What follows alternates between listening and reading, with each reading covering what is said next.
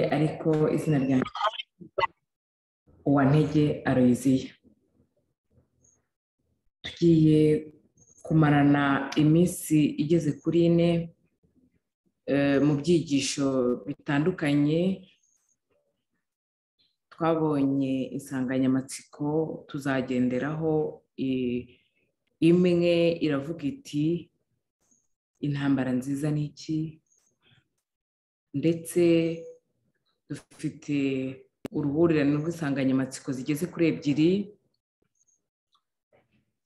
indirimbo y'umwana w'intama ndetse n'indirimbo ya mose mbese tubasha kuziririmba tukiri muri iyi si tubasha kuziririmba ubu.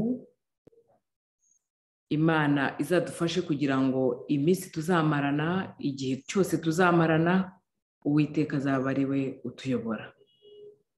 Muri kano kanya nshimiye imana kubw'indirimbo yaduhaye mu gitabo cyacu ivuga ngo mukiza ngo ukurikire imana idufashe kugira ngo ibihe byose tuzamarana tuzamurikirwe na mwuka wera muri gahunda zose. Mbere y'uko dutangira icyigisho cy'uyu munsi nifuje ko twakongera gusenga mu izina rya yesu. Turagushimiye cyane imana yacu tugushimiye kuri imana yita ku bugingo bwacu ubana natwe kandi uko bwije n'uko bukeye uratwungura nta na rimwe tutabona ibifasha ubugingo bwacu. Ibyanditswe byashyiriweho gufasha ubugingo ibyaremwe na byo byashyiriweho kuba igitabo cyiza gishobora kutwigisha uko umwuka duhumeka winjira n'uko usohoka na byo ni icyigisho. Uko imvura igwa n'uko izuba riva na byo ni icyigisho. Turagusabye ngo no muri kano kanya utumurikire kandi ubwo tubumbura ibyanditswe duhuzahuza bimwe mu byo waduhaye gutekerezaho duhe Imana kwaguka mu bitekerezo uturinde kandi kugeza ubwo tuza kuba dushoje dusobanukirwe na bimwe wifuza ko dusobanukirwa mu izina rya Yesu. Amen. Tugiye kurebera hamwe icyigisho gitoya kugira ngo dutangirane iki cyumweru. Turi kumwe mu murongo mwiza w'uko imana izifuza ko tugenda dusobanukirwa icyigisho tugiye kurebera hamwe nyine nk'uko twabibonye kiravuga ngo intambara nziza ni iki. Twagiye twiga ibintu byinshi bitandukanye ariko nkatwe nk'abadivantisite umunsi wa karindwi dusobanukiwe cyane n'icyitwa intambara ikomeye. Ariko si twe gusa ndetse n'umuntu wese waba akunda bibiliya kugeza kuri iki gihe umuntu wese ashobora kuba asobanukiwe n'icyitwa intambara ikomeye. Intambara ikomeye dufite igitabo kigenda kibivuga na cyo cyitwa intambara ikomeye. Ariko dufite igice cyiza cyo muri bibiliya igice cya cumi na kabiri cy'ibyahishuwe kibasha kubisobanura mu buryo burambuye. Icyo gice kitwereka intambara yabereye mu ijoro ahari dushobora gutangira tugisoma kugira ngo twumve aho intambara yatangiriye ko ari mu ijoro imana yashimye ko iki gice kiboneka ari icya cumi na kabiri mu byahishuwe ahari cyashoboraga kuba n'icya mbere kikajya muri mesaje twagomba kubona biri gitangira. Ariko imana ishima ko tubona iki gice mu mpera z'igitabo kigize bibiriya hari impamvu ni uko aha hagombaga kuba hari uruhurirane rw'intambara zabayeho guhera mu ijoro kugeza isi irangiye. Imana yifuza ko tumenya kuva agataga ka mbere kugeza intambara irangiye. Ntabwo yaduhishurira intambara igice ahubwo iduhishurira intambara mu buryo bukomatanye ndetse iduha n'ibyiringiro. Amagambo ari hano nifuza ko tureba mu gice cya cumi na kabiri cy'ibyahishuwe uhereye ku murongo wa mbere ndetse n'umurongo kugeza ku murongo wa gatatu. Hari amagambo avuga ngo ikimenyetso gikomeye kiboneka mu ijoro mbona umugore wambaye izuba ukwezi kwari munsi y'ibirenge bye ku mutwe we yambaye ikamba ry'inyenyeri cumi n'ebyiri kandi yari atwite nuko atakishwa no kuramukwa ababazwa n'ibise. Umurongo wa gatatu uravuga ngo mu ijoro haboneka ikintu ikindi kimenyetso gikomeye mbona ikiyoka kinini gitukura gifite imitwe irindwi n'amahembe cumi no ku mitwe yacyo gifite ibisingo birindwi. Umurizo wacyo ukurura kimwe cya gatatu cy'inyenyeri zo ku ijuru ukijugunya ku isi. Undi murongo turi butindeho ni umurongo wa karindwi uravuga ngo mu ijoro habaho intambara. Mikayeli n'abamarayika be batabarira kurwanya icya kiyoka ikiyoka kirwanana n'abamarayika bacyo. Ntibanesha kandi mu ijoro ahabo ntihaba hakiboneka cya kiyoka kinini kiracibwa ari cyo ya nzoka ya kera yitwa umwanzi na satani. Aricyo kiyobya abari mu isi bose nuko kijugunywa mu isi. Abamarayika bacyo bajugunywana na cyo. Imana ishimwe cyane hari umurongo w'ibyiringiro uravuga ngo mikayeli n'abamarayika be batabara kurwanya cya kiyoka.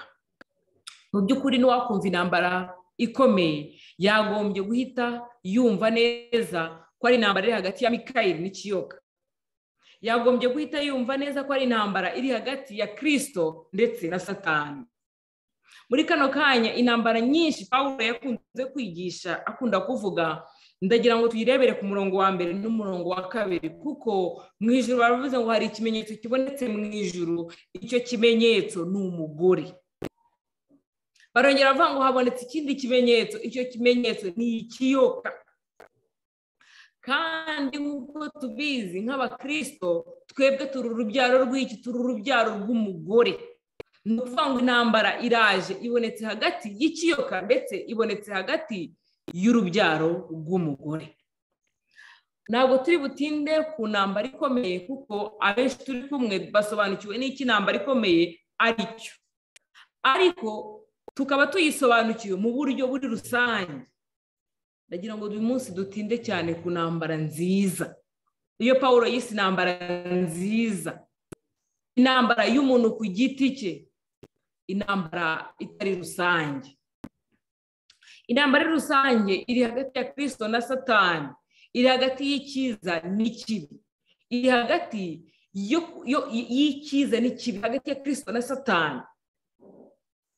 Ako ntambara iraromboreza uyu murongo urabitubwiye ngo cya kiyoka kinini kiracibwa ari cyo ya nzoka ya kera yitwa umwanzi na satani ngo ni cyo kiyobya abari mu isi bose. Muri abo bari mu isi yose harimo nanjye harimo ngewe harimo nanjye. Intambara nziza ni iki? Paul yabivuzeho ibintu byinshi.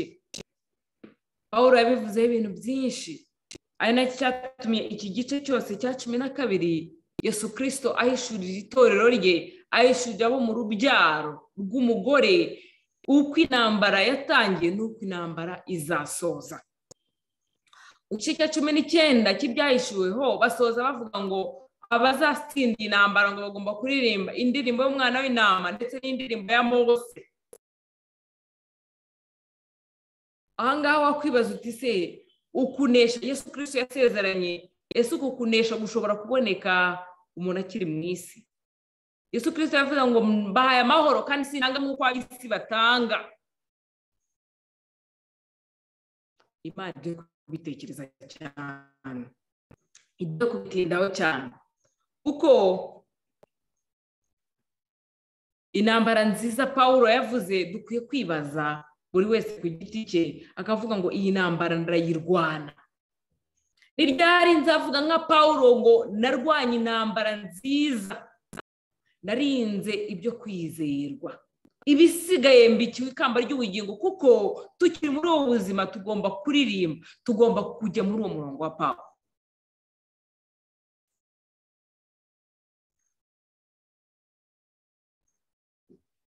tuzi neza intambara ikomeye iri hagati ya kirisito na satani icyabaye n'ikiri kuba n'icyabaye kuva agatanga ka mbere. Icyabaye ni uko satani ubwe yifuza gukuraho amategeko y'imana burundu amategeko y'imana burundu.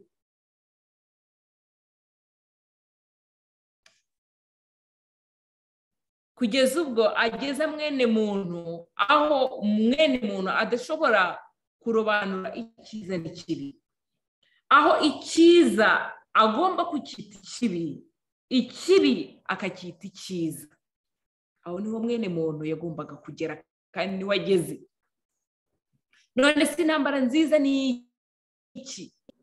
Iyo pawulo avuze akihamiriza ko yarwanya intambara nziza ibisigaye bityo ikamba ry'ubugingo. Iyo turebye mu bigize umubiri w'umuntu umuntu uko ateye tubona umuntu agizwe n'ibintu bitatu. Umuntu agizwe n'ibintu bitatu icya mbere umuntu agizwe n'umubiri umuntu agizwe n'ibitekerezo kandi umuntu agizwe n'ubugingo. Izo ngingo uko ari eshatu pawulo yakomeje kuzikoresha. Niyo mpamvu natwe nitujya kwiga intambara nziza pawulo yarwanye turaza kubanza twibaze ese icyo pawulo yise intambara nziza ni iki? Kugira ngo nanjye menye ko iyo ntambara nziza nyirwana. Iyo ntambara nziza ndayirwana.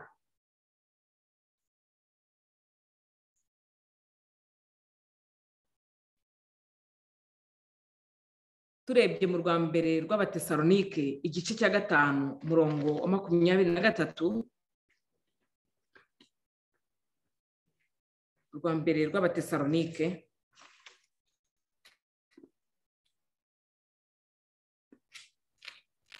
Igice cya gatanu umurongo wa makumyabiri na gatatu. Hari amagambo avuga ngo imana y'amahoro ibeze rwose kandi mwebwe ubwanyu n'umwuka wanyu n'ubugingo n'umubiri byose birarindwe bitazabaho umugayo. Umwami wacu yesu kirisito ubwo azaza. Paul nawe avuze ibintu bitatu. Hano avuze ibintu bitatu. Umwuka wanyu ubugingo bwanyu n'umubiri byose birarindwe. Umwuka wanyu ni ibitekerezo. Umwuka wanjye ibyo ntekereza ibyo ntekereza birarindwe.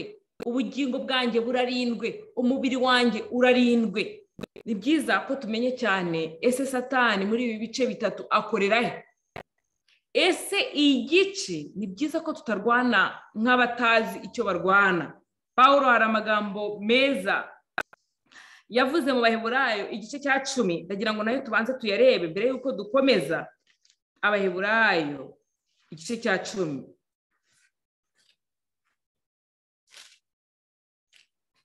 Abaheburayo igice cya cumi umurongo wa mirongo itatu na kabiri.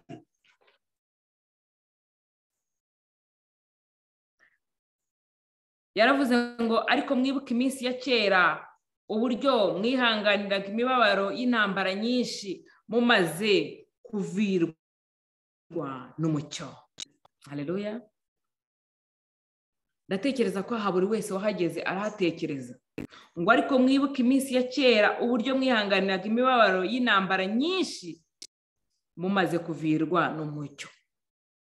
Iyo umuntu akimara kuvirwa n'umucyo muri we intambara ziba ari nyinshi.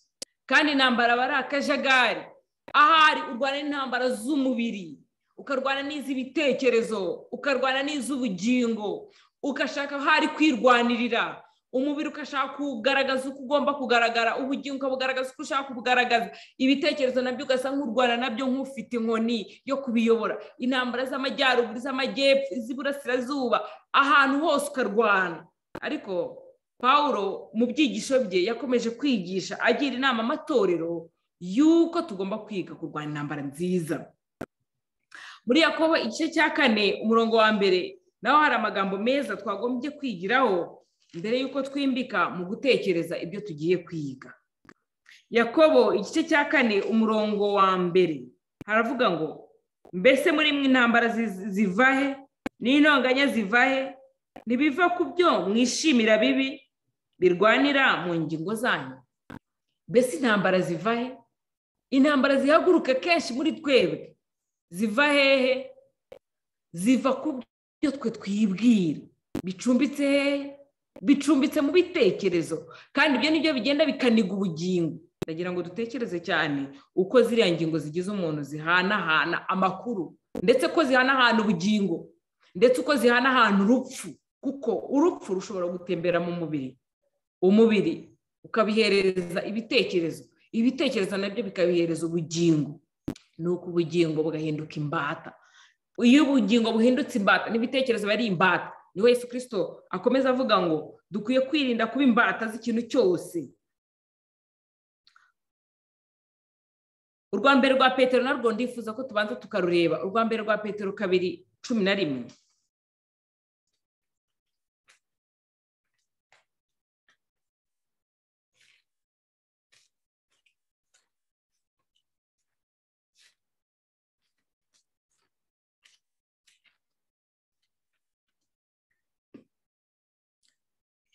Igice cya kabiri umurongo wa cumi na rimwe haranditse ngo bakundwa ndabahugura ubwo muri abasuhuke n'abimukira kugira ngo mwirinde irari ry'umubiri ry'uburyo bwinshi rirwanya ubugingo. Nifuje ko tumenya ibintu bitatu muri iki cyigisho cy'uyu mugoroba kugira ngo ahari n'intambara yacu tubashe kuyiyobora tumenya aho intambara igana tumenya aho dushobora gushyira imbaraga tumenya aho ibintu bipfira. Paul aravuze ngo bakundwa ndabahugura ubwo muri abasuhuke n'abimukira kugira ngo mwirinde irari ry'umubiri ry'uburyo bwinshi rirwanya ubugingo. Ni ukuvuga ngo ni iby'umubiri wibwira ni iby'umubiri urarikiye ni uko umubiri wamenyereye kubaho n'icyo umubiri wiyumvamo n'icyo umubiri ushaka. Icyo umubiri ushaka ugihereza ibitekerezo kandi ibitekerezo byamara kugifata ngo bikabihereza ubugingo. Ni uko ubugingo ngo bukahinduka imbata y'urupfu. Kuko icyo umubiri wanjye wibwira icyo umubiri wanjye ushaka ese gihamanya n'ibyanditswe cyangwa gihamanya n'urupfu? Iyo icyo umubiri wanjye wibwira kandi wifuza kandi ukagikora ukakigeraho niba ari icy'urupfu ubwo n'ubugingo bwamaze guhinduka urupfu. Ni ukuvuga ngo hari konegisiyo kuri ibyo bintu uko ari bitatu. Bakundwa ndabahugura ubwo muri abasuhuke n'abimukira. Kugira ngo mwirinde irari ry'umubiri ry'uburyo bwinshi rirwanya ubugingo muryirinde. Ariko turaza kuryirinda gute? Yashima imana yaduhaye inyandiko nyinshi mu itora. Igitabo cyitwa uburezi gitangira kitubwira ishuri ryo muri edeni ariko kigasoza kitubwira ishuri ryo mu ijoro ni ukuvuga ngo imana satani yarogoye umugambi w'ishuri rya damu na eva imana yari itangije muri edeni. Aho umwana w'umuntu yari ageze yiga yigira ku mana. Aho ibitekerezo bye byari bigeze imana ibizamura kugeza ubwo yagombaga guhora yiga yigira ku muremyi we iryo shuri ryarahagaze. Rimaze guhagarara umuntu arasigingira asubira inyuma. Iyo ugeze kuri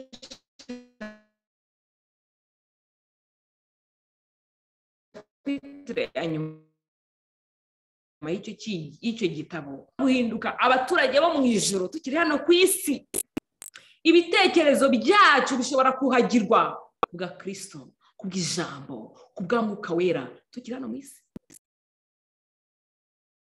Ndashima imana kubw'ibitabo byinshi kandi byiza kubw'inyigisho nyinshi kandi nziza imana yagiye ishyira mu itorero ryayo kugira ngo dushobore kugira ngo ab'itorero ryayo ab'urubyaro rw'umugore tubashe kubaho dushyitse atari uguhuzagurika. Tutameze nk'uko paul yabivuze tutarwana intambara nyinshi z'akajagari ahubwo dufokasinga ku cyitwa intambara nziza. Hari benshi babona umubiri ubagora ahari umubiri ukararikira umubiri ukifuza umubiri ukagira irari umubiri ukifuza gusambana umubiri bagasa nk'aho bawushyize muri gereza ukawubuza. Umubiri waba wumva abantu bavuga ibibi umubiri ukagwa umuntu akibuza kuba kumwe n'abavuga ibibi. Umubiri wagira icyo wifuza. Ni uko icyo kintu akakidepurasa akagishyira hirya kugira ngo umubiri utakireba. Umubiri utakireba umubiri ukacyifuza ntabwo ariyo ntambara nziza ibyanditswe byera bitwigisha ahubwo ibyanditswe byera bitwifuriza kandi bikatwigisha yuko ibi bintu ni ibintu bitatu. Ariko satani yatwigishije yuko ubu uko ibintu ari bitatu intambara zigomba kuba akajagari. Ukarwanira mu mubiri ukarwana n'ibitekerezo ubundi ugashaka oriyanta ubugingo byose bikakubana akajagari. Paul yavuze ngo ngo tukimara kwinjira muri uru rugendo twarwanaga intambara z'akajagari kandi intambara zari nyinshi cyane. Ariko uko umuntu agenda aromboreza agomba kumenya aho arwanira. Imana cyane. None se intambara nziza ibera hehe? Ibera mu mubiri? Baravuze ngo ubibira mu mubiri wazasarura kubura intambara nziza se ibera mu bitekerezo? Yego. Kugira ngo n'igika cya gatatu kibone ubugingo ari bwo bwinshi.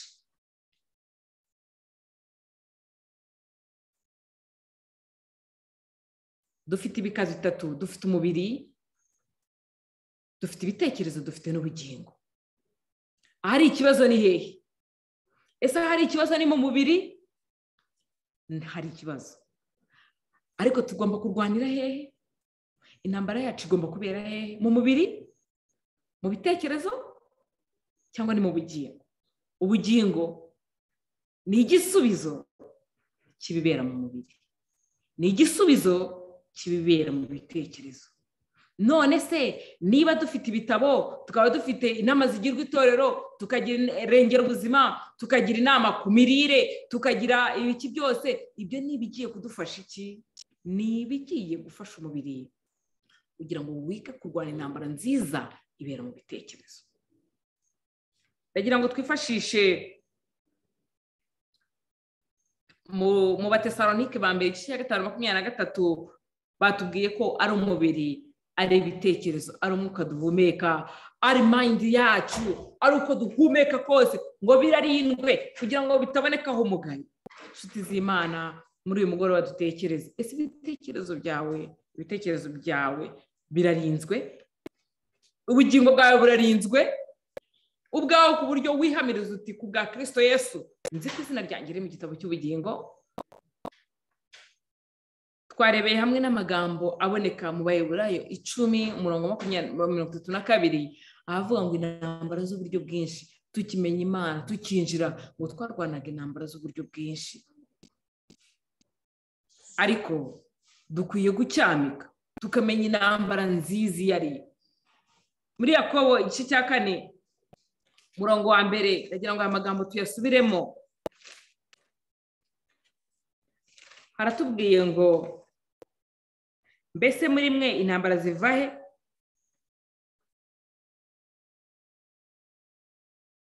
Ni intonganya ziva he? Ntibiva ku byo twishimira bibi?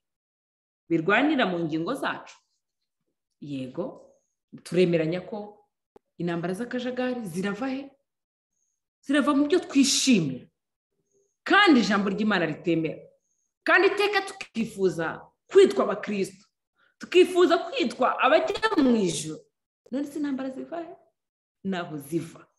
Ese ibyo ibyo twibwira ibyo twishimira bicumbitse hehe? Ndagira ngo twibuke cyane iyo bavuze intambara umuntu yihutira kumva ijambo umusirikare. Umusirikare aba afite n'intwaro. Intwaro ye agomba kuba afite ahantu ayerekeza.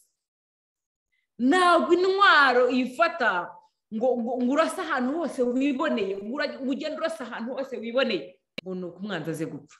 Ngo uvuge ngo n'ubundi ngo niba atari iburyo ngo ari ibumoso ngo niba atari amajyaruguru hari amajyepfo ngo urase aho ubonye. Oya. Niba hari intambara hari n'umusirikare. Niba hari n'umusirikare ariko umusirikare nawe arifite aho agomba kwerekeza intwaro ye. Azi aho icyo arwana na cyo kiri. Inshuti z'imana ibi hari impamvu yabyo kandi hari impamvu imana yabyandikishije kugira ngo tubyige. Ahari ikibazo ni mu bitekerezo byacu. Ibitekerezo byacu ni byo bifite ikibazo. Igitabo cy'uburezi iyo kitwigisha guhera kuri shapitire ya mbere kujya kuri shapitire ya nyuma n'igitabo cyitwa ubutumwa ku basore iyo kuva kuri shapitire ya mbere kugera kuri shapitire ya nyuma iyo bitwigisha biba birimo biratwigisha ngo ni gute? Warwana intambara nziza ku giti cyawe mu bitekerezo. Mu bitekerezo byawe ukamenya intambara ushoboye n'izo udashoboye. Turabizi ko mu ntambara z'isi umuntu aba azi neza uwo arwana nawe ko ashoboye. Ko ashoboye kumurwanya cyangwa atabishoboye. Ko akeneye kwaka sapoti mu bindi bihugu ko akeneye kugura intwaro ko akeneye aba agomba kumenya ngo umuntu turwana andusha imbaraga cyangwa ndazimurusha. Afite abasirikare benshi cyangwa ndabamurusha. Ese ndashoboye cyangwa sishoboye? Mu ntambara yo kurwana n'ibitekerezo byanjye hari ibintu bikenewe. Ni ukumenya ngo ese ndabishoboye? Tuganire. Dukurikije yuko satani intambara yateje mu isi yari kwerekana ko amategeko y'imana adashoboka. None se natwe tuganire. Ese turahamanya n'imana? Kuko imana iravuga ngo yego birashoboka. Umuntu yaba umukiranutse ese turahamanya na satani yuko bidashoboka? E niba duhamanya n'imana bikaba bishoboka. Reka twinjire twinjire muri sisiteme ya buri muntu wese wateraniye natwe hano. Ese mu bitekerezo byawe amategeko y'imana icumi arashoboka? Twinjire mu gice cyitwa ibitekerezo. Ese mu bitekerezo byawe ntukiri umujura? Mu bitekerezo byawe ntukiri umusambanyi? Mu bitekerezo byawe uruka isabato? Kuko n'imana ijya guca urubanza izinjira muri iyo foda. Izinjiraho mu bitekerezo. Ndifuza ko turebera hamwe.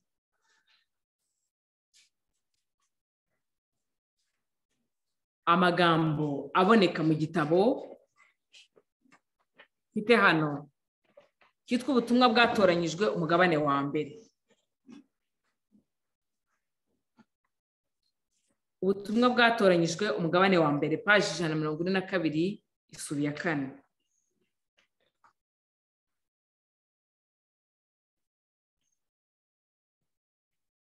Nifuza ko tumenye cyane aho umwanzi wacu ashoboye kugera n'aho adashoboye kugera. Hari amagambo meza avuga ngo umwanzi w'imitima ntiyemererwa kumenya intekerezo z'abantu. Aya magambo. Ahari ukurikije ukuntu ari meza hari igihe umuntu yavuga ko aya magambo atari ukuri.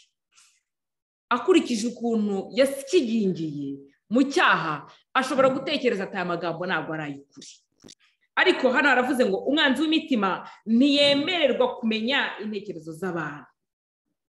Ngo ahubwo aritegereza cyane akandika kandi akita ku magambo y'abantu agakurikirana ibikorwa kandi mu mayeri akerekeza ibitekerezo bye ku bantu bamwiyegurira ubwabo. Twabonye ko umuntu afite ibice bitatu umubiri ibitekerezo ndetse n'ubugingo. Ariko ibyanditswe bitubwiye ko umusatani atemererwa gukontorora ibitekerezo byacu.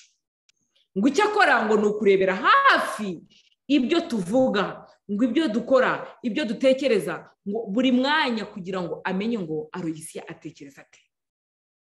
Aroyisiya akunda iki? Aroyisiya amategeko amutsindagira hasi amategeko amunanira ni ayahe? Arebera ku byo mvuga akarebera ku byo nkora akarebera arebera inyuma. Ahari umwanzi gica iyo aba yari afite imbaraga zo kwinjira mu bitekerezo byanjye. Ashobora gufata ibitekerezo byanjye akabyandikaho kwiba akabyandikaho gusambana. Nkazarinda apfa ndi umusambo nkazarinda apfa ndi umujura ngazarinda apfa ndi umwibone nkazarinda apfa ntubashye ababyeyi. Nkazarinda apfa ntubashye imana. Ariko ngo mu bitekerezo byacu ngo ntahagera. Arebera hafi. Agakurikirana cyane. Ngo akibaza akanzanira ibyenda gusa n'ibyo abona nkunda. Akantuma mu bitekerezo byanjye akantuma akantuma akambwira ati aroyiziya iyaba wari ujya ukanterekera aka kantu mu bitekerezo byawe. Nanjye kuko ku kantu nsanzwe ngakunda nkagaterura nkakajyana mu bitekerezo byanjye. Ahari akavuga ati iyaba wari ufashe rwose ubu butunzi ukagenda. Iyaba wari ufashe ubutunzi ukagenda ukabutereka mu bitekerezo ukagenda ukanerekere mu cyumba cyitwa ibitekerezo. Iyaba wari uteruye akagira ibintu aterura akabitereka mu bitekerezo byanjye. Ibyo bitekerezo bikagenda bigahesha ubugingo bwanjye urupfu. Imana yifuza ko tumenya ibice bitigeze bifatwa. Mu ntambara yo ku isi ahari abenshi bagiye baba mu bihugu bishobora kuba byarabayemo intambara. Iyo umuntu wateye igihugu agiteye akaba atarafata kapitari akaba atarafata igice kinini cy'igihugu ntabwo ashobora gutangaza intsinzi. Ndagira ngo mbabwire yuko satani atigeze aserebura intsinzi ku muntu kubera iki kuko igice arwaniramo arwanira mu gice cyitwa umubiri ahari wakwibaza uti kuki atsinda kuki kenshi atsinda mu bugingo bwanjye kuki anesha kandi arwanira mu gice gito arwanira mu gice cyitwa kimwe cya gatatu kandi muzi ko no mu ijuru no mu byahise cumi na kabiri avuga ngo amanura kimwe cya gatatu. Arwanira mu gice kitamwemerera gutsinda. Ntabwo icyo gice kimwemerera gutangaza intsinzi. Icyo gice ni igice gitoya. Ugereranyije n'ibice bisigaye. Ni igice gitoya ugereranyije n'ibice bisigaye. Nifuza ko turebera hamwe amagambo aboneka muri rengera ubuzima. Paje y'ijana na cumi n'icyenda.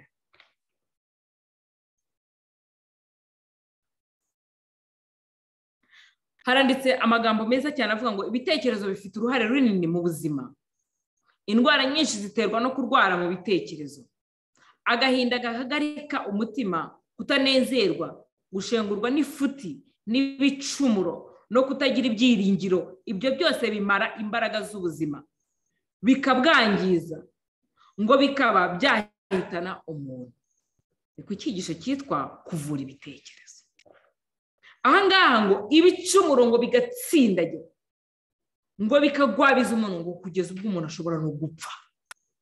Iki ni igice cyitwa ibitekerezo. Iki gice cyitwa kuvura ibitekerezo. Ngo ibitekerezo bifite uruhare runini mu buzima. Indwara nyinshi ziterwa no kurwara mu bitekerezo. Ese twakwemeranya ko n'indwara y'icyaha na yo ari indwara ifata ibitekerezo. Yego iyo ndwara yamara gufata ibitekerezo ikoherezwa mu mubiri igaseriva umubiri ibitekerezo bavuga bati yewe ndashaka kwiba ndashaka gusambana ntabwo nshaka kubaho ngira icyo nakwikorera na kimwe. Oya ahubwo nzahora ntegereje ko abantu bampereza. Oya ibitekerezo bigapfa. Bikagenda bikamungwa bigashyira ahari ukibwira ko kubera ukuntu wahenebereye kubera ukuntu wasikingijwe n'icyaha ngo ukibwira yuko satani ngo ashobora kuba agendagenda akagenda no mu bitekerezo byawe agakontorora agafunga ibyumba ashatse agafungura ibyo ashatse agatembera. Kuko wowe wararwaye uraremba. Kugeza ubwo no ku gice cyitwa ubugingo wandikaho ngo nta bugingo nteze nta bugingo nteze nta bugingo buhoraho ushobora kubona. Ndetse n'ubugingo bwo kuko tukiriho tuba dufite icyitwa ubugingo niyo mpamvu icyo gice cyitwa ubugingo ikimana izaduhemba ni cyo cyitwa ubugingo buhoraho. Ndagira ngo dutekereze cyane. Ese iyo urwana intambara urwana n'iby'umubiri cyangwa ugomba kurwana n'ibitekerezo. Dufite kurwana n'intambara z'ibitekerezo ndetse dukwiye gutekereza cyane ese iyo uhamagarira kirisito kugufasha umuhamagarira mu kihe gice? Kuko igice cy'ubugingo ntabwo twe tugikontorora. Ariko igice cy'ibitekerezo umwami imana yatwigishije yuko icyo gice ni cyo kiganisha ku bugingo. Iyo ibitekerezo byawe byerekeye aheza ngo n'ubugingo buhita bwerekera aheza. Ngo ibitekerezo byawe byerekeye ahabi ndetse bihita byandika ku bugingo ngo uyu muntu afite ubugingo. Kandi ibyo ni otomatike ngo umubiri nawo ni uwo gushyira mu bikorwa ngo ibiri mu bitekerezo. Ibi hari impamvu nifuza cyane ko tubitindaho. Igitabo cy'ubutumwa cy'ubutumwa bwatoranyijwe igitabo cya kabiri paji ijana na mirongo inani na kane hari amagambo nanone nifuza ko dutekereza muri kano kanya. Inzira ijya mu ijoro ifunganiye cyane abashaka kuyigendamo kuyigendanamo isumbwe n'ubutunzi. Ifunganiye cyane abibereye mu mikino mu mukino wo kurarikira. Irahanamye cyane kandi igoye kugendwamo n'abashaka ubuzima buboroheye. Kugira ngo bayizamuke birabagora. Kwiyuha kuya kwihangana kwitanga kunenwa ubukene umurimo ugoye kwihanganira kurwanywa n'abanyabyaha. Uwo ni wo wari umugabane wa kirisito kandi ni nawo ugomba kuba umugabane w'umuntu. Niba ajya muri paradizo y'imana. Hareruya abidamarariye ahari dushobora gutekereza uti kudamarara ni gute? Ndafuza ko aya magambo tuyatindaho. Ahari watekereza uti kudamarara ni gute? Hano baravuze ngo inzira ijya mu ijoro ifunganiye cyane abashaka kuyigendamo kuyigendanamo isumbwe n'ubutunzi. Kuyigendanamo isumbwe n'ubutunzi. Ahari ugatekereza uti ninjye uriho. Ibyo paul yavuze ngo niki kizana intambara nyinshi muri twe? Ese niki kizana intambara? Reka mvuge ngo ahari si isumbwe n'ubutunzi biri mu mitima yacu kandi ngo iyi nzira ifunganiye cyane abibereye mu mukino wo kurarikira. Ese niki kizana intambara mu mitima yacu? Eee ese si ukurarikira icyo tutabonye? Ngo irahanamye cyane ngo kandi igoye kugendwamo n'abashaka ubuzima buboroheye kugira ngo bayizamuke. Babandi bifuza ubuzima buboroheye ngo irabagoye cyane. Babandi bifuza ubuzima buboroheye irabagoye cyane. Ko irahanamye kandi iyo bavuga ibi baba bavuze n'ubuzima busanzwe. Ese ninde wifuza kurya atavunitse? N'abifuza ubuzima buboroheye. Hano bongeye kuvuga ngo kwiyuha kuya. Kwihangana kwitanga ndetse no gukwenwa ubukene umurimo ugoye. Kwihanganira kurwanywa n'abanyabyaha. Kwihanganira kurwanywa n'abanyabyaha. Yego igihe kizajya kigera turwanywe n'abanyabyaha. Yego. Ariko hano baravuze ngo kubyihanganira. Iyo nsinzi kurwanywa n'abanyabyaha gusa si cyo gikwiye gutsindwa kurwanywa n'abanyabyaha. Ariko bikwiye kwihanganirwa. Ngo uwo ni wari umugabane wa kirisito ngo kandi nawe ugomba kuba umugabane w'umuntu. Niba ajya muri paradizo y'imana. Hareruya aha tubonye ibice bitatu ni byo ndimo nifuza ko dutindaho ibice bitatu hari umubiri. Paul yakunze kubivuga aravuga ngo niba murwanira mu mubiri arangije aravuga ngo ngo ngo ibice byanyu byose uko ari bitatu birarindwe ngo igice cy'umubiri ngo igice cy'ibitekerezo ndetse n'igice cy'ubugingo ngo birarindwe ngo bitazabaho umugayo. Ibi bice bitatu tubonye ko satani igice cyitwa ibitekerezo satani ngo atakigeraho. Ngo ariko ashobora kugira ibyo yoherezayo kandi ibyo yoherezayo abituma ngewe akaba ari ujya kubishyirayo. Ariko acunga ibibera mu mubiri bibera mu mubiri wanjye. Akamenya neza ibiri mu bitekerezo. None si intambara yanjye yo kugira ngo mbe mbe mbe nk'uko paul yabinyifurije akavuga ngo birarindwe igice ngomba guheraho ni ikihe ese igice ndebera mukoneye ni iki? Ibitekerezo. Hano hari amagambo nifuza ko dutekereza cyane. Urwa mbere rwa timoteyo igice cya gatandatu umurongo wa cumi na kabiri. Amagambo paul yandikiye timoteyo.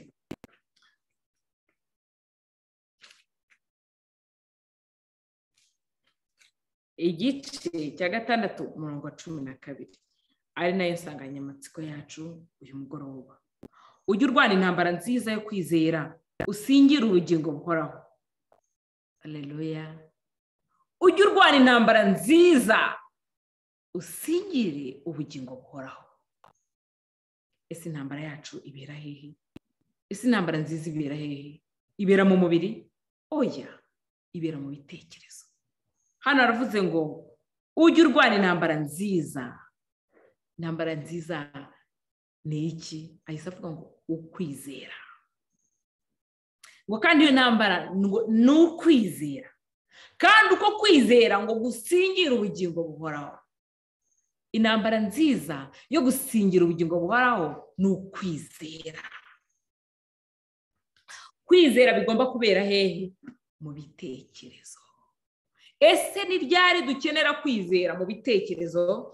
Ese ni ryari dushobora kugera kuri uyu murongo? Paul yavuze abwira timoteyo ngo rwanda intambara nziza.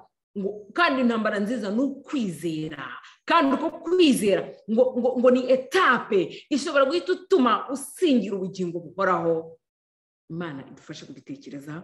Iki cyigisho tuzakomeza umugabane wacyo ku wa kane w'isabato. Tureba ingingo zigomba kutugeza ku kwizera. Aho umuntu aba ku mutima we yomatanye n'icyitwa kwizera. Aho kwizera bitari ibintu ashobora kwishyiramo adasetinga ejo ngo abise abikuremo. Ntabwo ari ibintu utereka ntabwo ari ibintu uvuga ngo uyu munsi ndagufite ngo ejo kwancitse. Oya ni izihe etape zishobora kutugeza ku cyitwa kwizera? Icyo paul yegeranyije n'intambara nziza. Tuzarebera hamwe amagambo amagambo agize ibice bigize kwizera. Kandi igice cya mbere kigize kwizera ni ukuzuka. Igice cya kabiri kigize kwizera ni ijambo rivuga ngo ngirente. Aho ugera mu bitekerezo byawe wamara kwinjira mu cyumba cyitwa ibitekerezo wamara kureba ibitekerezwa byose biri mu bitekerezo byawe ukabona bihabanye n'ijambo ry'imana. Warangiza muri icyo cyumba aho wicaye mu bitekerezo byawe ukavuza induru ugahamagara nyir'ibitekerezo ukamubwira uti ngirente ukamubwira uti ngirente icyo ni igika cya kabiri.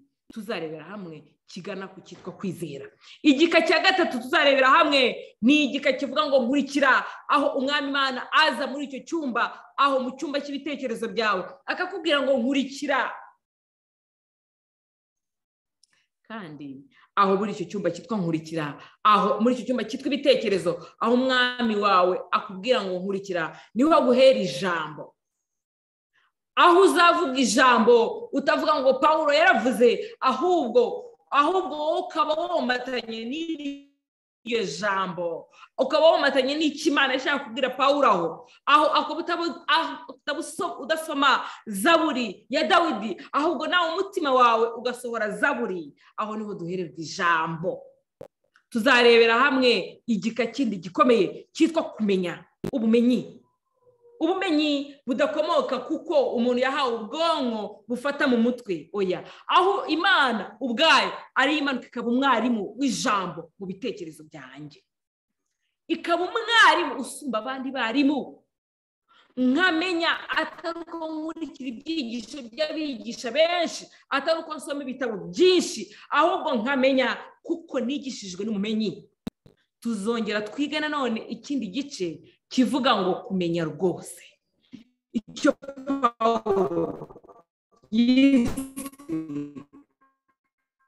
kumenya rwose. Kumenya ariko ibyanditswe byise ko icyo ari ukwizera.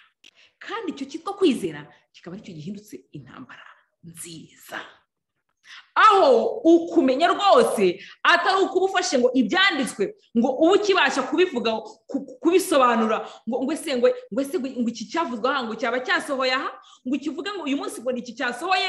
Ngo ejo nari kuvuga ngo ni iki kibaye na cyo gisohoye? Oya nta kajagari kaba kari mu byanditswe mu bitekerezo byawe. Ahubwo ibyanditswe biba bimurikiwe na mwuka wera. Icyo bibiriya yise ngo kumenya ikongera akavuga ngo kumenya rwose. Aho kwizera kuba kuri kuri buri mukaya ubwonko bwawe. Aho kwizera kuba kuri kuri buri mutsi ubwonko bwawe. Aho kwizera kudashobora gukurwaho n'intambara zakubaho ntigushobora gukurwaho n'ibigeragezo byinshi ugize. Aho kwizera kudashobora guhungurwa nk'imbuto zidakomeye. Bitewe n'ibihe unyuzemo. Hoya guseka kwawe ntabwo biterwa n'uko ugeze mu bihe byiza. Yesu yaravuze ngo mbahaye amahoro ngo kandi si mbahaye amahoro nk'uko ab'isi batanga. Ni amahoro ugira igihe ibihe ari byiza n'igihe ibihe ari bibi. Ni amahoro ugira izuba ryavuye n'igihe imvura igwa. Ni amahoro ugira mu bihe byiza n'ibihe bibi. Igihe ukennye n'igihe ukize. Igihe wanzwe n'igihe ukunzwe. Hari abantu tugushwa n'igihe cyo gukundwa. Wakundwa ukagwa. Ubwibone bukakwica ukagwa. Wakwangwa nabwo ukagwa.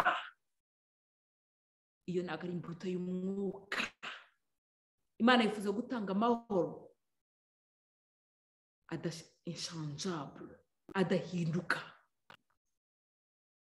Amahoro adahinduka. Ukamwenyura wariye ukamwenyura waburaye ukamwenyura ukunzwe ukamwenyura wanzwe ibyo rero si impano twishyiraho. Impamvu nifuje ko twiga iki cyigisho ni uko intambara nyinshi tuzirwanira mu mubiri. Ariko intambara yari ikwiye kubanza kurwanirwa mu bitekerezo. Hari amagambo nifuza ko dukomerezaho ni hahandi kuri ya paji twasomagaho ijana na mirongo inani na kane isubi ya gatatu. Haravuga ngo niba kwizera kwawe kw'iki gihe gucogora mu buryo bworoshye biterwa n'uko utigeze ushora umuzi mu kwizera gushikamye niba kwizera kwawe kw'iki gihe gucogora mu buryo bukoroheye mu buryo bukoroheye biterwa n'uko utigeze ushora imizi mu kwizera gushikama hari igihe utwara imodoka ku bantu batwara imodoka wayitwara izino modoka zitari otomatike ukajya ugenda ukumva wagenda ukumva feri urayifite ubundi ukongera ugasanga feri ntayo ufite ukumva feri irimo ubundi ukumva ntayirimo ese uramutse ufite imodoka imeze ityo? Wavuga ngo iyi modoka ni nzima. Ukayifata n'urugendo ntabwo bishoboka. Icyo gihe umenya ko imodoka yawe irwaye. Umenye ko imodoka yawe irwaye. Niba rero kwizera kwawe kw'iki gihe gucogora mu buryo bworoshye biterwa n'uko utigeze ushora umuzi mu kwizera gushikamye reka mwumve amagambo akurikiraho muri uyu mugoroba. Dutangira iki cyumweru kugira ngo azatubere impamvu byakutwaye imbaraga nkeya cyane. Niba ukwizera kwawe kutagukomeza mu bigeragezo kandi ngo kuguhumurize mu mibabaro. Byagutwaye imbaraga nkeya cyane. Niba kwizera kwawe kutaguhumuriza mu mibabaro no mu ntambara. Biterwa n'uko uko kwizera kutigeze gukomezwa n'umuhati uko kwizera kwawe ntikwigeze kubakwa ntikubatse. Ngo nta muhati washyizemo. Ngo ndetse byagutwaye igiciro kigufiya kugira ngo uko kwizera kugufi ngo kurahendutse uko kwizera kwawe kurahendutse. Hano baravuze ngo biterwa n'uko uko kwizera kutigeze gukomezwa n'umuhati kandi ntikwigeze gukomezwa no kwera mu ngeso. Ntikwigeze gukomezwa no kwitanga. Ibihe byo kwitanga. Ese wigeze witanga? Cyangwa ibyawe byose ni kositi urabibarira ese urera mu ngeso handi mu ntekerezo mu cyumba cy'ibitekerezo. Iyo wowe winjiyemo usanga wera niba utera kandi niba utitanga nagira ngo umenyeshe ko uzasanga ufite kwizera. Ariko uku kwizera kwawe ntabwo kuzagukomeza mu gihe cy'intambara mu gihe cy'ibibazo mu gihe cy'ingorane. Ndetse hari umunsi uzashiduka ubyuka usanga umeze nk'umwe mu bakobwa b'abapfu. Hari igihe uzagenda nureba mu gafuka kawe ubikamo kwizera nukayakaya usange ntakurimo hano aravuze ngo biterwa n'uko uko kwizera kutigeze gukomezwa n'umuhati ukwera no kwitanga. Abashaka kubabazwa ku bwa kirisito bazagira ibyishimo byinshi. Bababazwa kuruta kuba kirisito yarababarijwe ngo muri ubwo buryo berekane ko yabakunze. Ngo abatsindira ijuru bazakoresha imbaraga zabo zikomeye kandi bazakorana kwihangana kose kugira ngo babashe gusarura imbuto z'umurimo ukomeye. Ahangaha njya mbabara cyane kuko iyo ijambo ry'imana rivuze umurimo ugomba gukorana umuhati n'ubushake abantu bumva kujya kubwiriza. Abantu bumva kujya kuririmba. Abantu bumva kujya gutanga inyandiko bumva gukoresha imbaraga bumva kurira imisozi. Imisozi kwikurirwa n'imisozi yo mu cyumba cy'ibitekerezo byanjye. Yesu ngo azabwira abantu benshi ngo mwagiye ku murimo ngo ariko ninde wari wabatumye? Kuko iri jambo baryumvise bakagira ngo warabatumye. Bagize ngo arababwira ngo ntibajye gukoresha umuhati mu bikorwa ngo mu murimo.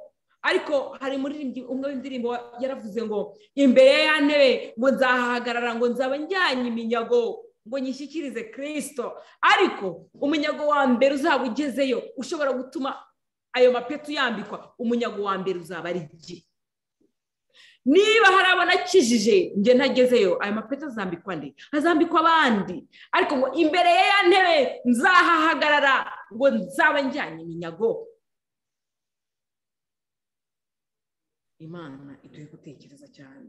Haravuze ngo hano haravuze ngo niba kwizera kwawe kw'iki gihe gucogora mu buryo bworoshye biterwa no kutigeze ushora imizi mu kwizera bushikamye ngo byagutwaye imbaraga nkeya ese hano iyo ijambo ribivuze gutya ngo byagutwaye imbaraga nkeya. Wumva imbaraga nkeya mu murimo w'imana wo kujya kubwiriza urugo ku rundi?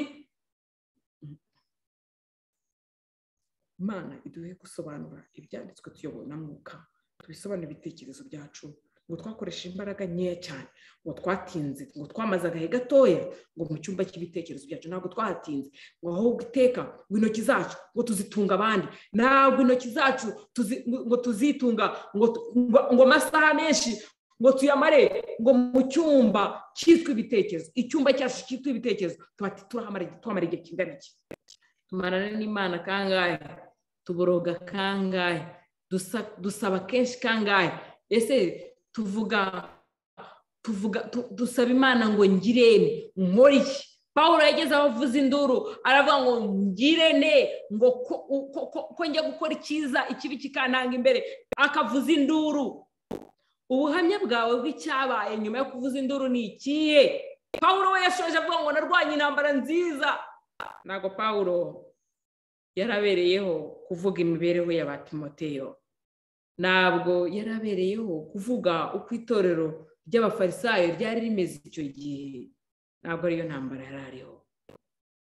Intambara nziza paul yarwanaga kandi intambara nziza yahamagariraga timoteyo. Iyo nkwiye kuguhamagarira nawe ukampamagarira. Ni intambara nziza ibera mu cyumba cy'ibitekerezo. Kandi icyo cyumba cy'ibitekerezo kizahereza umubiri kizahereza ubugingo. Muri uyu mugoroba ndifuza yuko ahari buri wese yatekereza cyane ku magambo akwiye gutekerezwaho kugira ngo tumenye orientation umurongo intambara nziza. Amagambo nifuza ko twongera gusoma twerekeza umusozo. Ni amagambo aboneka muri iki gitabo cyitwa ubutumwa ku basore. Paje ya mirongo icyenda na gatandatu. Paje mirongo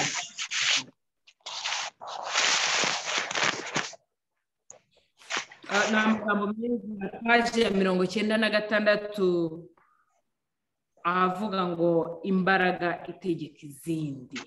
Amena aravuga ngo mwibuke ko mu bugingo bwanyu iyobokamana atari imwe mu mbaraga zigomba kuganza ahubwo rigomba kuba imbaraga itegeka izindi zose. Iri jambo ryaramfashije ntabwo imbaraga y'iyobokamana igomba kuganza. Ntabwo igomba kuba makisimu ahubwo igomba kuba furu ntabwo igomba kuba mirongo irindwi na gatanu ku ijana. Ntigomba kuba mirongo inani na gatanu ku ijana. Ntigomba kuba mirongo icyenda na rimwe ku ijana. Ntigomba kuba mirongo icyenda na gatanu ku ijana. Ahubwo niyo igomba kuba iganje. Niyo igomba kuba yicaye ku ntebe. Aha. Uyu murongo watumye nsobanukirwa n'impamvu dufite tamperanse mu itorero ryacu. Watumye nsobanukirwa neza n'impamvu dufite ibitabo byitwa ngo rengera ubuzima watumye nsobanukirwa n'impamvu nsabwa kunywa kurya gutya ngasabwa kwitwara gutya kugira ngo ndinde umubiri umubiri nawo urinde ibitekerezo ibitekerezo ni byo bihereza ubugingo. Amen. Imana iduhe kumenya intambara zirwanirwa two kuba abasirikare barasa batazi n'aho umwanzi ari. Bakarasa akarasa ngo aho narasa hose umwanzi arahari arapfa. Aho narasa hose umwanzi arapfuye pawuro yaravuze ngo ubibira mu mubiri azasarura kubora ariko ubibira mu mwuka azasarura uwo mwuka. Kandi dutekereze cyane. Amagambo yandi nifuje ko tureba araboneka mu rwa rwa timoteyo. Igice igice cya mbere murongo wa cumi n'umunani kugeza ku cumi n'icyenda. Haravuga ngo mwana wanjye timoteyo ndakwihanangiriza nkurikije ubuhanuzi bwa kera. Bwahanuwe kandi bwahanura ibyawe. Imana ntidukundira tuzareba cyane amagambo avuga ubuhanuzi bwa kera icyo bisobanuye. Mwana wanjye timoteyo ndakwihanangiriza nkurikije ubuhanuzi bwa kera bwahanuye ibyawe kugira ngo buduheshe kurwana intambara nziza. Ukomeze kwizera kandi ufite umutima utagucira urubanza. Umutima uwo mutima bamwe barawuretse bahinduka nk'inkuge imenetse ku byo kwizera. Aha ngaha ndifuza ko inama yahawe timoteyo ibi yanjye muri uyu mugoroba. Niba ubishaka ibi yawe muri uyu mugoroba. Kugira ngo two guhinduka inkuge zimenetse inkuge zitobotse. Mwana wa timoteyo ndakwihanangiriza nkurikije ubuhanuzi bwa kera bwahanuye ibyawe kugira ngo buduheshe kurwana intambara nziza. Ubuhanuzi bwa kera iyo ibyanditswe kenshi bivuze ubuhanuzi bwa kera nifuje kwenda duhita tunabivugaho nubwo twazagira igihe cyo kubivugaho. Bwari ubuhanuzi buhanura ibya kirisito yesu. Nkurikije ubuhanuzi bwa kirisito yesu buhanura ibyanjye. Buhanura ibyanjye aroyiziya buhanura ibyanjye mama ogi. Yuko ubugingo ubugingo ni ikintu dufite ni ikintu twahawe furu ni ikintu dufite. Amagambo hari amagambo nifuje ahari. Gusoma. Muri iki gitabo kivuga ubutumwa ku basore aravuga ngo insinzi twarayihawe amen? Ubuhanuzi rero buhanura ibyacu budusabira butumenyesha yuko dufite insinzi yahanuwe kuva agatanga ka mbere. Igahanurwa guhera muri edeni ikavugwa kugeza ubwo kirisita avutse tukaba turiho mu cyitwa isezerano rishya. Ubuhanuzi bwa kera buvuga ibyano kuri kirisito kandi kirisito ko azaza ab'igihe cy'isezerano rishya bakaba babayeho mu ko intsinzi ari iyabo paul cyangwa mu izina rya kirisito aratubwira ngo inshuti z'imana muri uyu mugoroba ukurikije ubuhanuzi bwahanuye kirisito bwahanura intsinzi bwahanura ko intsinzi ari iyacu bwahanura yuko kimwe cya gatatu ari cyo satani ashobora gukoreramo agakorera mu bigaragara agakorera mu mubiri. Ariko natwe dufite bibiri bya gatatu satani atatugengaho dushobora kwinjira mu cyumba cyitwa ibitekerezo. Cyitwa ibitekerezo. Kandi ibyo bitekerezo tudashobora guhindura dukurikije amategeko y'imana. Tukareba ububi bwacu tukareba n'ubwiza bwa kirisito ubwiza bw'amategeko y'imana ukurabagirana kwayo. Tukabona ko bihabanye cyane n'ibyacu nuko tukavuza induru. Tugatabaza uwaneshereje muri icyo cyumba. Cyitwa ibitekerezo. Ku giti cye yaranesheje kandi aneshereza no ku bwacu. Kandi muri icyo cyumba ni ho dushobora kubonera intsinzi. Kandi ibitekerezo byawe iyo bibaye byiza ijambo rimwe riravuga ngo ntabwo isoko nziza ishobora kuvura amazi meza leta ahari nshobora kugira kwihangira gukiranuka nkajya mvuga amagambo meza ejo nkavuga n'amagambo mabi. Ariko ibyanditswe biravuga ngo mbese isoko nziza? Yavamo amazi meza leta. Ntabwo bishoboka. Natwe rero nitwinjira mu byumba byacu. Dushobora kumenya neza ko isoko yacu ari mbi cyangwa isoko yacu ari nziza. Reka mbabwire isoko ishobora kuvamo amazi meza ikavamo n'amazi mabi ntabwo ifite ubugingo. Ndabasaba kugira ngo inshuti z'imana twihatire kwinjira mu cyumba cyitwa ibitekerezo kandi nituhagera tubaze imana ngo mana tugire dute? Kugeza ubwo buri kintu cyose kibaho kubw'umugambi w'imana. Kandi imana ngo yiteguye gutanga ubugingo kuko ko insinzi ari iyacu. Nakunze amagambo paul yavuze ngo narwanye intambara nziza. Urwa kabiri rwa timoteyo igice cya kane umurongo wa karindwi. Narinze ibyo kwizera. Ibisigaye mbika ikamba ry'ubugingo. Ndakwifuriza muri uyu mugoroba kugira ngo iri jambo nawe urivuge nanjye ndivuge tukiri muri ubu buzima. Kandi duharanire kuzarivuga. Andi magambo nifuza ko tureba ni urwa kabiri rw'abakorino icumi kandi ayo magambo tukayasorezaho. Igice cya cumi umurongo wa gatanu. Urwa kabiri rw'abakorino. Urwa kabiri rw'abakorino.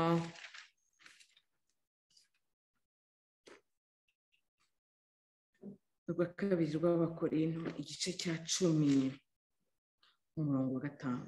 Haravuga ngo nubwo tugenda dufite umubiri ndifuza guhera ku murongo wa gatatu ni byo. Nubwo tugenda dufite umubiri w'umuntu ntiturwana mu buryo bw'abantu. Kuko intwaro z'intambara yacu atari iz'abantu ahubwo imbere y'imana zigira imbaraga zo gusenya ibihome no gukubita hasi. Hareruya iyo tugeze muri cya cyumba cyitwa ibitekerezo ntabwo intambara. Ahari tuba tureba abanzi benshi cyane bari mu bitekerezo byacu. Ntabwo turwanisha intwaro nk'iz'ab'isi barwanisha. Ahari uw'isi yashatse kurwanira mu mubiri. Akabona yuko ahari kuvuga nabi bimugaragaza nabi kuvuga nabi arabireka. Ahari agira uburyarya ahari agira uko yitwara. Ariko intwaro z'intambara yacu ntabwo ari nk'iz'ab'isi. Twinjira mu cyumba cy'ibitekerezo kandi buri kintu cyose kigaragara ko cyishyirira hejuru kurwanya imana tukirwanyisha kwizera. Tukirwanyisha guhamagara kirisito kandi tukizera neza yuko yadusezeraniye intsinzi kandi tugomba gutsinda. Umurongo rero ukurikiraho uravuga ngo dukubita hasi impaka.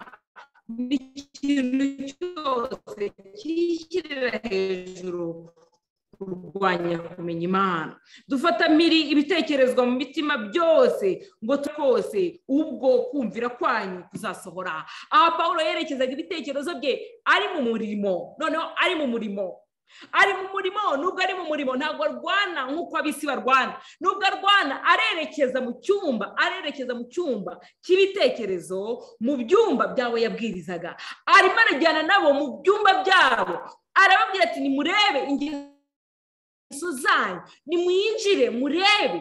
Ibitekerezo byanyu. Natwe aka kanya ahari tubanze twinjire mu bitekerezo byacu. Turebe niba twaba tumeze nka paul ese dukubita hasi ibyishyira hejuru kurwanya imana mu mitima yacu? Ese irari rirazamuka? Tukinjira mu cyumba. Uko rizamuka tukamanura ibitekerezo mu izina rya yesu kirisito mu izina rya yesu kirisito dukubita hasi. Ese intambara nini? Igice kinini cy'iminsi tumara turwana tuba turi mu cyumba cy'ibitekerezo byacu. Imana iduhe gutekereza cyane. Paul yageze aho aravuga ngo sinjye uriho amena hari impamvu yavuze ngo sinjye uriho ngo ahubwo ni kirisiti uriho muri jye nuko azi neza yuko iyo ari mu cyumba cy'ibitekerezo bye. Ntabwo ari we wirekesheje gusambana. Ariko dufite abakirisito benshi birekesheje gusambana. Barabyirekesha biremera. Arabyibuza biremera.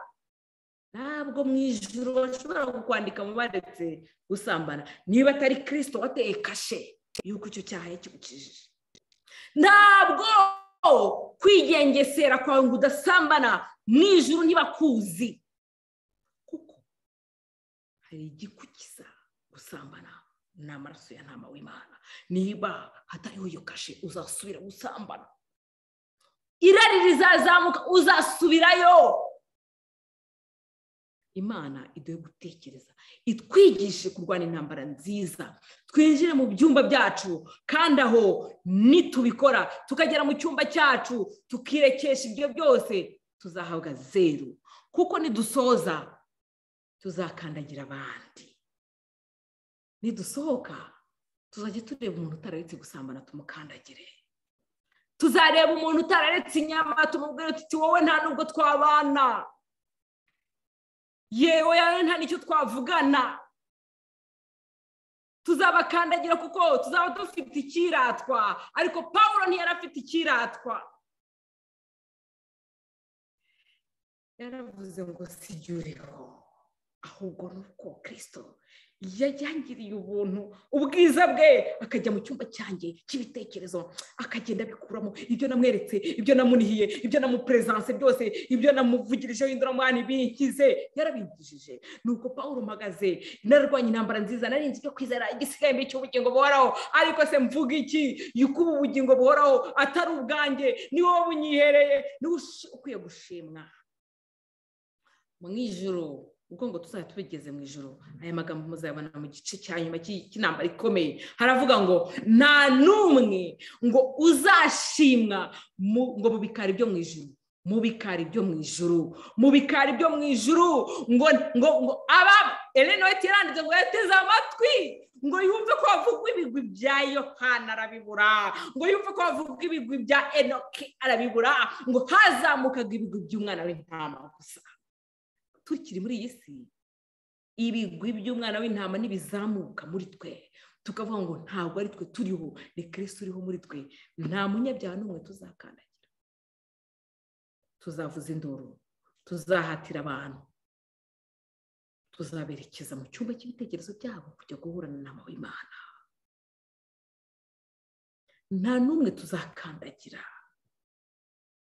Nta n'umwe tuzirataho. Imana idufashe muri uyu mugoroba kumenya intambara nziza icyo ari cyo tumenye n'aho irwanirwa kandi ibyo bizasohoka. Intambara nziza nimara kuganwa mu bitekerezo umubiri uzajya ukubwira uti ndifuza kujya kwiba. Ububwira uti woya rwose mu bitekerezo byanjye ntabirimo ndifuza kujya gusambana. Ibitekerezo bibwira umubiri ngo ntabwo rwose mbishaka. Umubiri uzageragerezwa mu mubiri ariko uzanesha kuko ibitekerezo byawe byamaze kwimuka kandi ibitekerezo bizajya bibwira ubugingo ngo ese wa bugingo urabivuga wiki ni uko imana na yo izivuga ngo ubugingo buhoraho ni ubwawe.